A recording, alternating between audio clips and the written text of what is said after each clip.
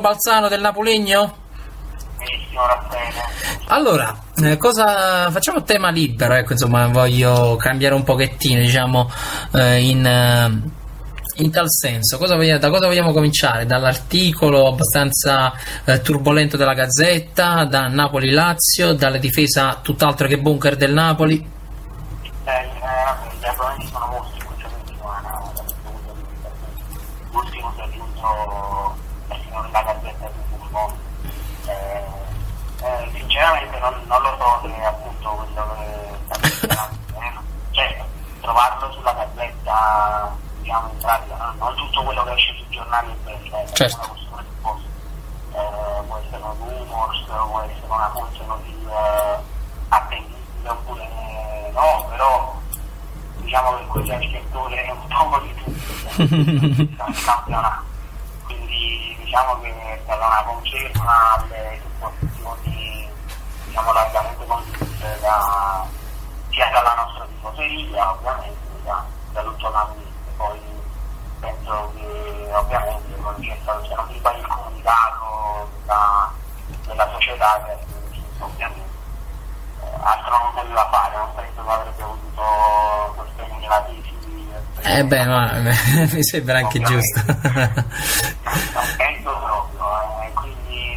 diciamo che alla fine il sentimento di tutti, il, il, appunto, il comportamento di alcune squadre nei confronti della prima classifica, eh, diciamo, non, è, non è molto, oh, cioè non è sintomo appunto di orgoglio da questo punto di vista che effettivamente sia accaduta conversazione. Eh certo, però, assolutamente. Eh, però non cambia niente, cioè da questo punto di vista. No, è vero. Cioè, pure, no, ma anche che pure se fosse effettivamente accaduto una cosa del genere, continueranno a fare.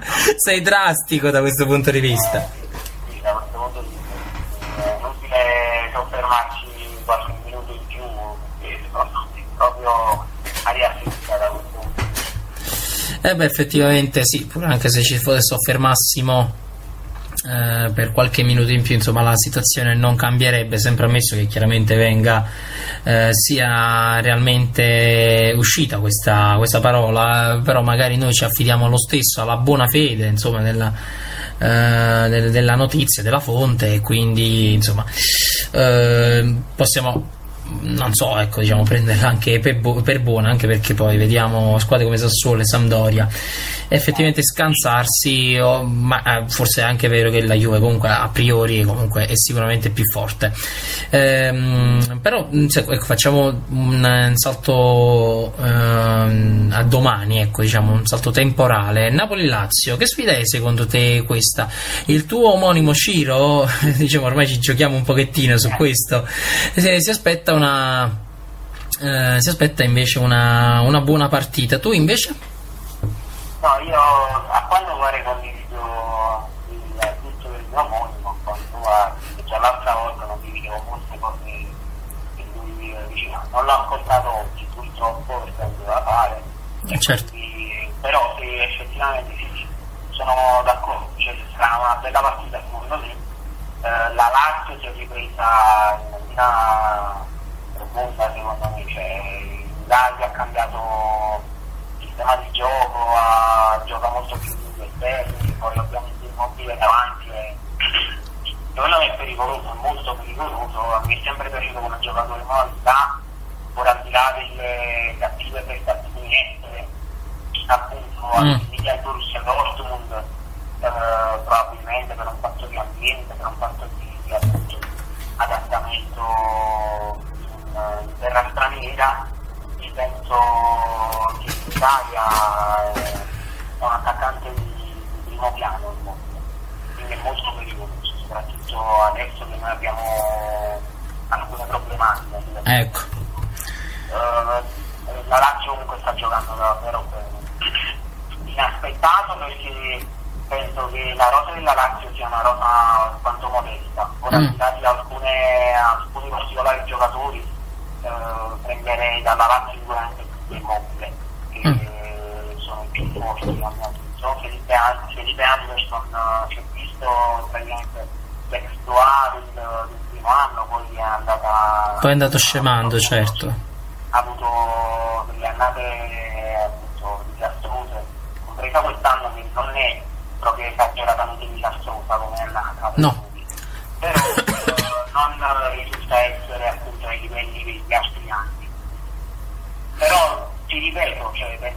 Gambia ha fatto un ottimo lavoro alla Lazio, probabilmente perché conosceva già l'ambiente, quindi sta trasferendo anche quella voglia diciamo, di onorare tra virgolette la maglia e quindi eh, i giocatori diventano completamente, uh, uh, completamente immersi nell'ambiente laziale e quindi nella squadra.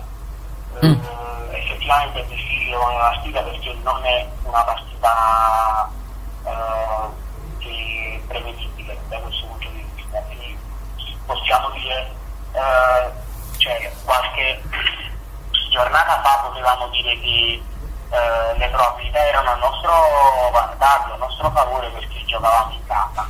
Ora che appunto in parecchie occasioni eh, la partita appunto che è in casa, poi in parecchie occasioni abbiamo dimostrato alcune eh, problematiche difensive, quindi eh, diciamo non è più così semplice questa, eh, questa considerazione riguardo alle partite casalinghe. Sì.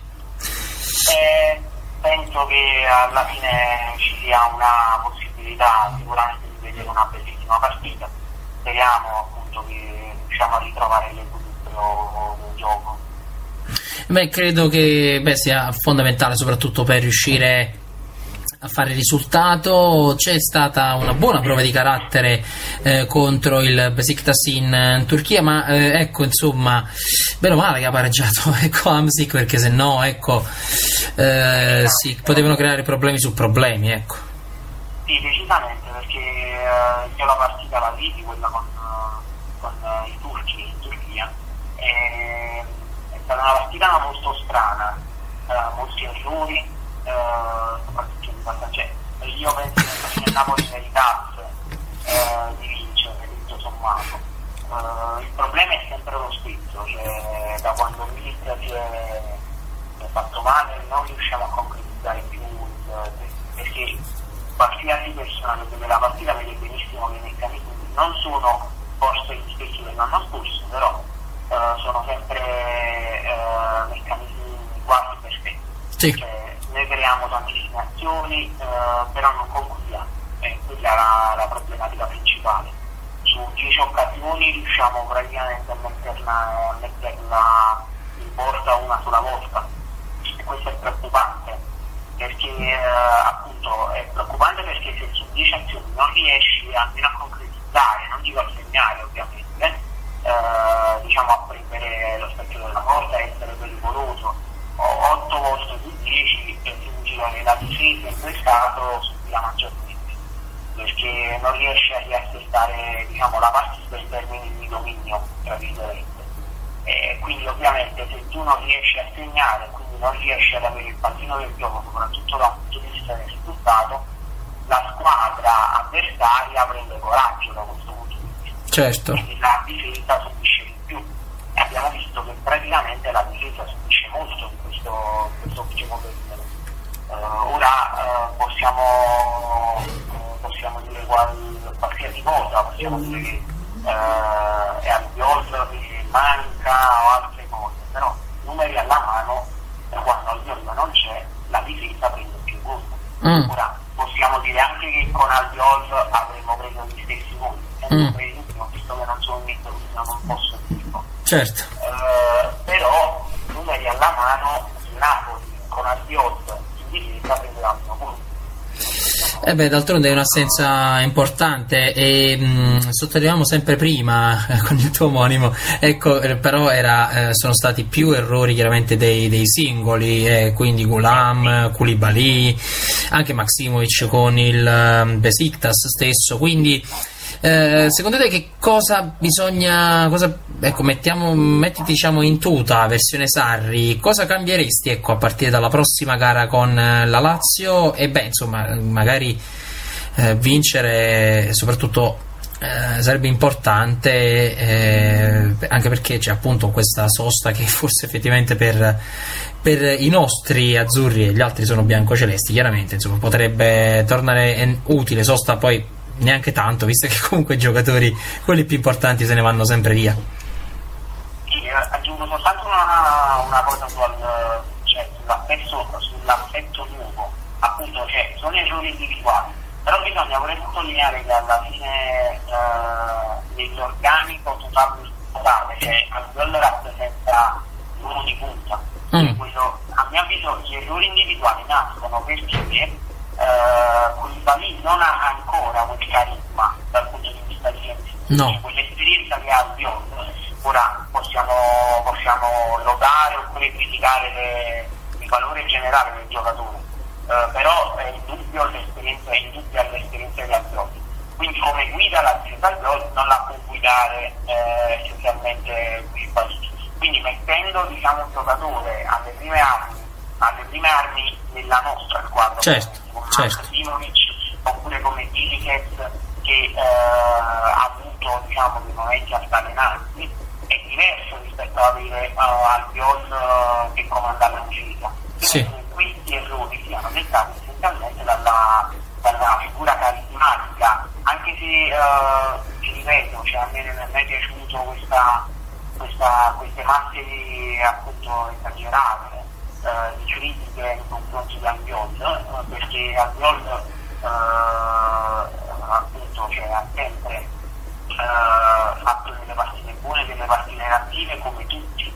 Certo. Lì è forte, è fortissimo, però poi alcune volte si addormenta come per eh, uh, contro la Roma. Quindi penso che sia proprio una problematica cioè, relativa al carisma del giocatore, che non riesce a mantenere la difesa per questo rispetto al gioco.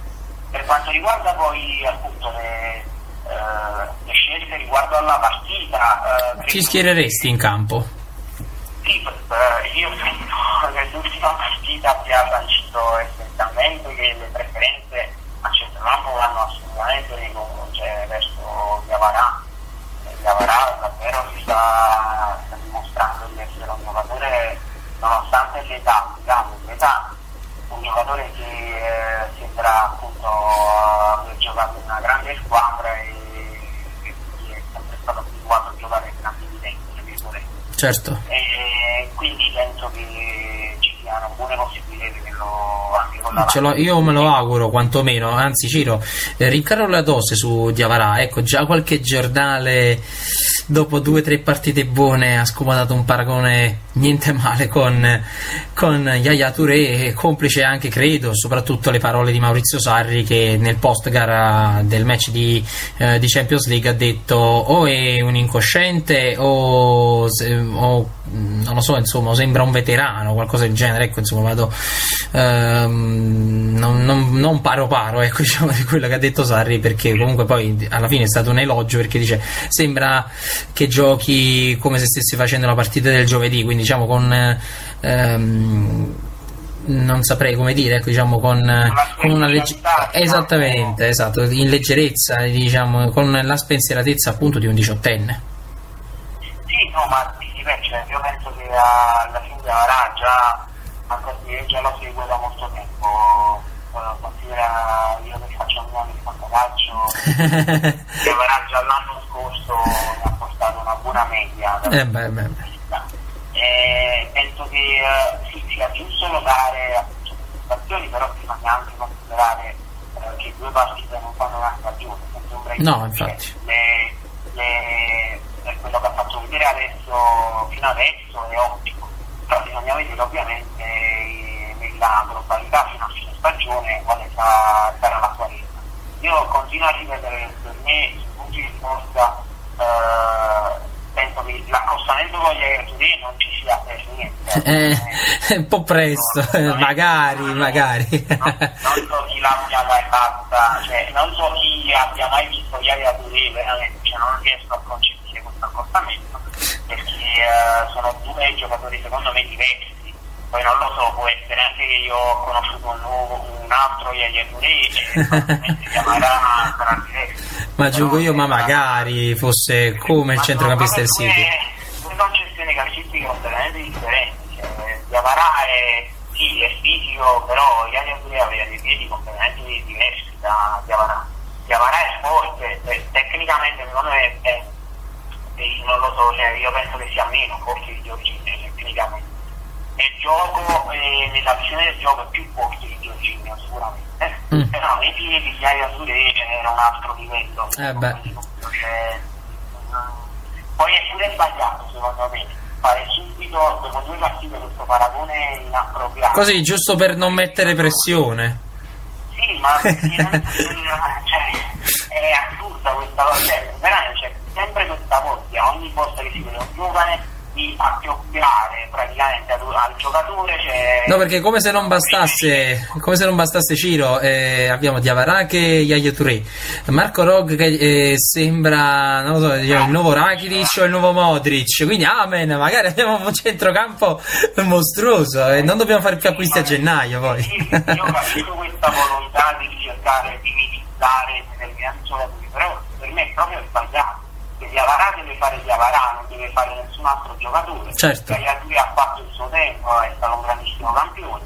E, e questa voglia esagerata di voler paragonare effettivamente i giocatori, soprattutto quelli giovani ovviamente, nei movimenti oppure in qualsiasi altra cosa nella loro espressività calcistica, a miti appunto a praticamente giocatori eh, effettivamente fortissimi. È sbagliato certo. al della, della cioè, mettere pressione al giocatore per questo comunque sta, sono state due prestazioni completamente profondamente ottime di Diavara uh, che ha mostrato molta più fisicità di Giorgino che sul Brasile basta vedere come andava nei contratti uh, appunto come dettava pure il gioco come tranquillamente eh, se doveva fare la giocata la faceva, quindi sembra proprio assumere, cioè eh, sembra prendere sempre maggiore esperienza e quindi questa è una cosa positiva per me, perché appunto è un acquisto nuovo e quindi è positivissima come cosa. Eh, per quanto riguarda poi gli altri giocatori, penso che eh, eh, non lo so, eh, probabilmente sarà inserito Dunischi o al posto di Allan oppure Rambo uh, in attacco penso che sia quella la formazione, cioè nel senso I piccoletti. Ah, tu ti aspetti i gabbiadini? Io mi aspetto i piccoletti, chissà chi avrà ragione, vediamo. Uh, beh, non lo so in verità, cioè nel senso ci Lo scopriremo domani come sempre. Vedere, appunto, sia di vedere il trio uh, di, di Younger 1,70 praticamente, oppure vedere Gabbiadini appunto al posto secondo me più di Insigne che di Mertens mm-hmm. eh, ovviamente sono due possibilità che tranquillamente possono verificarsi eh, e poi in difesa penso appunto ci saranno i titolari penso non ci saranno tante, eh, tanti campi poi eh, ovviamente vedremo anche perché se ricordi la settimana scorsa pensavo che non venisse schierato contro la Juve eh, di Avarà invece e invece ci ha sorpreso Sarri. mi ha smentito profondamente sono stato contentissimo di essere smentito. È chiaro Avarà, perché poi ha giocato anche benissimo davanti a quei mostri. una partita assolutamente. Da questo punto di vista è, è, da questo punto di vista allora aspetto anche Rob eh, per essere sentito magari noi non lo consideriamo proprio al momento come un inserimento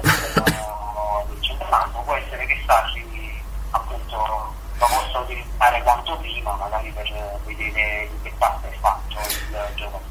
Siamo tutti davvero molto curiosi di vederlo all'opera, veramente speriamo che, bah, forse è difficile vederlo eh, nella gara con la Lazio, ma sicuramente a, partire dalle prossime magari vedere questo giocatore eh, ci può dare una sensazione positiva o negativa a seconda chiaramente poi della, eh, della, della sua della sua prova. Ciro, prima di salutarti, salutarti e ringraziarti, ehm, che dici? Eh, vogliamo azzardare un pronostico o andiamo di scaramanzia?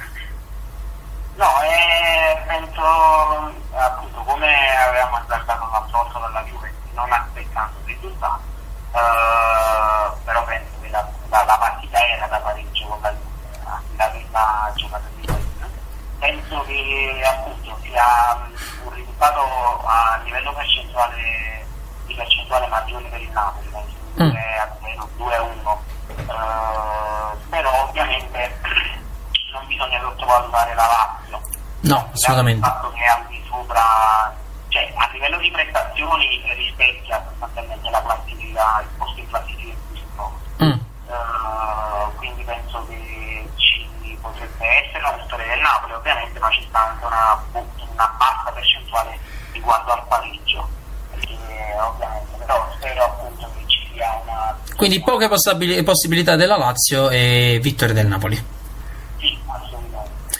Perfetto, e beh, questo è chiaramente eh, l'augurio, eh, anche perché insomma eh, io domani sarò al San Paolo, magari sia un dettaglio, vabbè. Ehm, va bene. Grazie Ciro, è come sempre un grande piacere ci ritroviamo molto presto, sicuramente a partire dalle prossime puntate di Sottoporta Show. Grazie Ciro. Un abbraccio, ciao Raffaele, ciao.